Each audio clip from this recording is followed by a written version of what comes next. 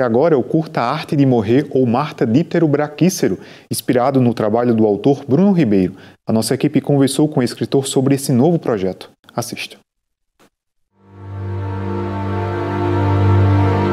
Lançado no começo do mês no Festival do Rio 2024, o curta A Arte de Morrer, ou Marta Díptero Braquícero, inspirado no conto de mesmo nome do autor Bruno Ribeiro, trata de como pessoas em momentos difíceis podem se reconhecer umas nas outras.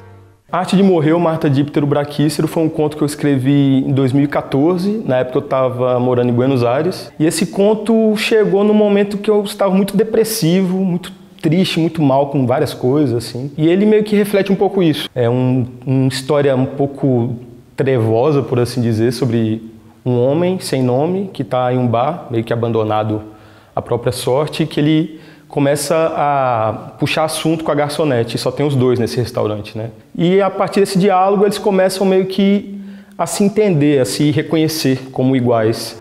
Embora Bruno já tenha realizado outros trabalhos no audiovisual, essa é a sua primeira obra literária que ganha uma adaptação para as telonas. E quem assina o roteiro e direção é o cineasta Rodolfo de Barros. Eu tenho uma linguagem que ela é muito ágil, ela é muito imagética. Eu gosto muito de escrever de uma forma que o leitor consiga imaginar mesmo aquelas cenas. Eu gosto de criar cenas. Eu acho que isso faz com que a adaptação dos meus textos seja mais fácil. O Arte de Morrer mesmo, o Rodolfo basicamente pegou o conto e jogou nas telas.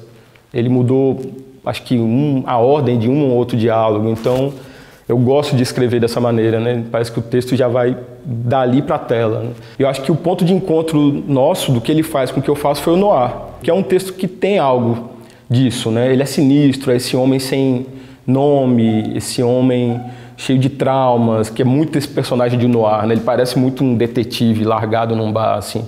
Além da adaptação que acabou de sair, o conto foi um dos vencedores do Prêmio Brasil em Prosa em 2015. Para Bruno, uma das chaves para o sucesso desse trabalho é a autenticidade. Eu acho que isso chama atenção, né? Quando você faz algo não movido por um desejo externo, como eu quero agradar as pessoas, eu acho que isso nunca dá certo na arte, né? Eu fiz do jeito que eu queria, da forma que eu queria, eu acho que isso sempre traz coisas boas. Você sabia que as moscas ficam esfregando as patas por questão de higiene? Os pelos que elas têm nas patas têm umas espécies de receptores de aroma e sabor. O filme, por enquanto, vai circular em outros festivais. O Rodolfo já está colocando em outros aí, mas até o ano que vem espero que ele já esteja disponível online para todo mundo assistir. Assim que tiver, podem me procurar aí nas redes sociais que eu vou estar divulgando. Observa a mosca solitária no prato. Morreu? Engraçado. Eu faço essa pergunta para a maioria das pessoas que eu conheço. Elas estão vivas, né? E elas estão vivas, Mata.